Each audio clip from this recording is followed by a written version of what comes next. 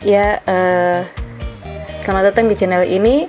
Kali ini saya akan sharing dengan teman-teman semua. Saya punya kegiatan atau iya, saya punya kegiatan dalam rangka Hari Masyarakat Adat Pribumi Sedunia yang uh, dilakukan di Kampung Bring di Lembah Grime di Genyem.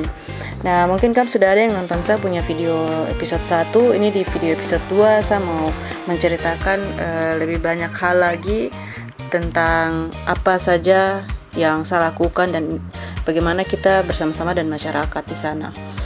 Jadi dalam rangka Hari Masyarakat Adat Pribumi Sedunia itu masyarakat dorong sudah punya inisiatif.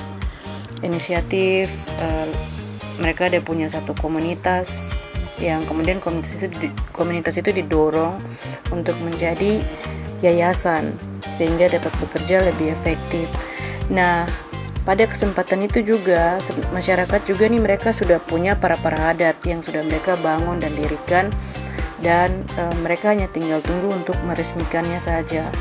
Nah, untuk itu lihat kalau bisa lihat di sini ini mereka ada sementara kerja untuk perbaiki bukan perbaiki emang um, poles simbol-simbol pada tiang-tiang rumah adat jadi ini sebelumnya mereka tutup selama hampir setahun menggunakan kertas.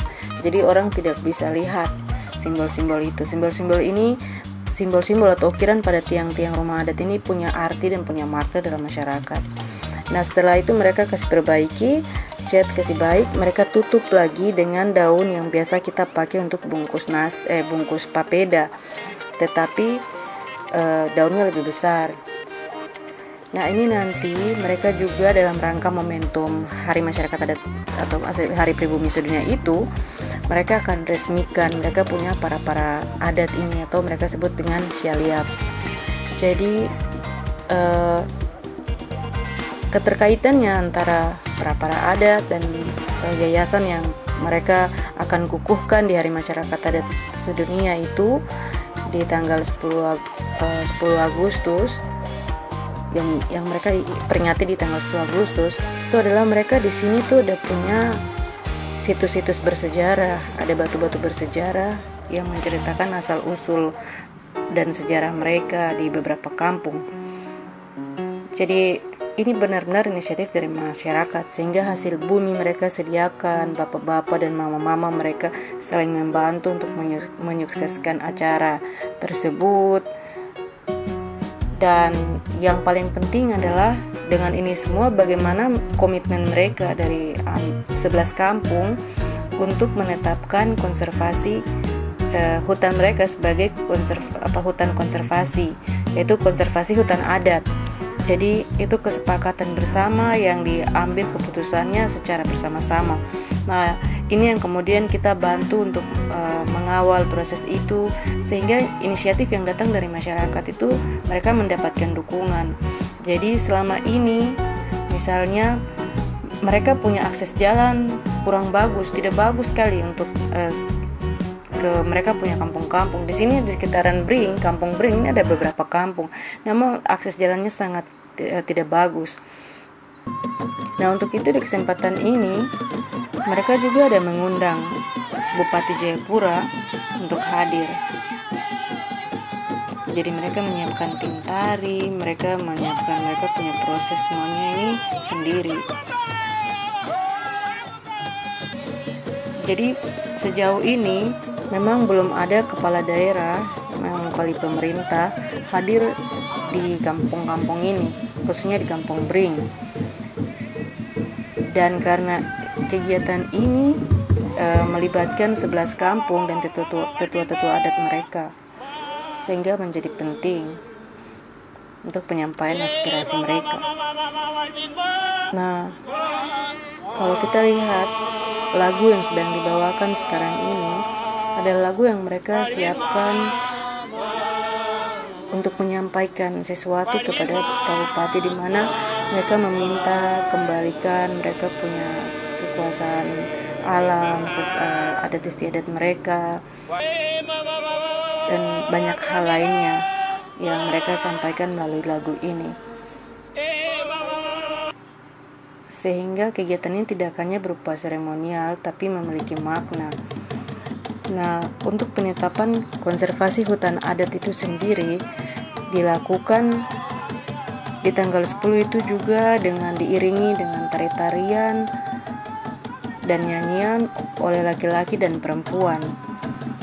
Mereka menandatangani itu di atas batu, batu-batu yang juga punya sejarah dan keterkaitan erat dengan budaya mereka dan sejarah sul-usul mereka. Dan ini ada 11 kampung dan itu adalah tetua, tetua adat atau memang peranan orang-orang yang ada dalam struktur adat mereka.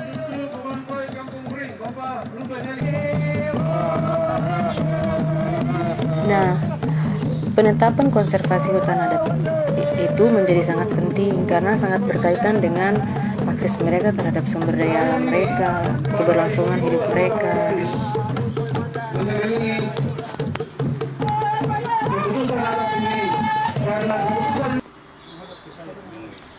Jadi eh, keputusan mereka ini sangat penting untuk ya itu keberlangsungan hidup mereka tadi. Nah ini mereka uh, para tetua adat kemudian meresmikan para para adat mereka. Mereka membuka selubung yang menutupi mereka membuka selubung yang menutupi tiang-tiang rumah adat mereka. Jadi masing-masing marga pemilik simbol pemilik ukiran itu dia akan datang ke tiang tersebut dan membuka uh, selubung yang menutupi tiang rumah adat itu sehingga proses ini adalah proses yang dibangun dari masyarakat dari bawah dan inisiatif mereka mungkin selama ini mereka pun tidak punya kesempatan untuk menyampaikan apa yang menjadi masalah apa yang menjadi persoalan yang apa yang ingin mereka sampaikan kepada pemerintah misalnya untuk dapat dipenuhi sebagai hak-hak dasar mereka, hak-hak dasar masyarakat pribumi. Nah, di kesempatan ini dengan hadirnya Bupati Jayapura di mana bupati hanya mengukuhkan yayasan pelestarian mereka dan peresmian uh, para para adatnya dilakukan oleh masyarakat adat itu sendiri, pemilik budaya dan pemilik para para adat itu. Nah, di sini setelah diresmikan para para adatnya, barulah orang-orang lain bisa naik ke atas para para adat tersebut, termasuk bupati. Ketika mereka sudah hadir di situ, barulah di saat itu masyarakat dapat menyampaikan terkait akses jalan, terkait akses air, terkait hal-hal yang uh, mereka ingin untuk uh, bisa dipenuhi sebagai tanggung jawab negara dalam hal ini. Mereka juga meminta misalnya bahwa uh, eh, SK SK untuk penetapan konservasi hutan adat yang telah mereka sepakati bersama dapat didukung oleh pemerintah. Nah, proses-proses inilah yang memang harus kita dorong di mana ada inisiatif-inisiatif lokal, inisiatif-inisiatif dari masyarakat adat yang harus kita kawal bersama sehingga masyarakat adat memiliki uh, kedaulatan, memiliki kekuatan dan dapat apa yang menjadi keinginan kita bersama untuk melestarikan alam dan budaya Papua itu terjawab. Jadi selama tiga hari berproses di Spring bersama-sama dan masyarakat melihat bagaimana mereka saling membantu menyiapkan segala sesuatunya bersuadaya. Mereka bersuadaya untuk bisa menyukseskan acara uh, perayaan Hari Masyarakat Pribumi Sedunia 2020 oke itu saja dari saya bisa sharing dengan teman-teman semua. Thanks for watching. Ya thanks for watching. Jangan lupa like share comment dan subscribe See you on next video.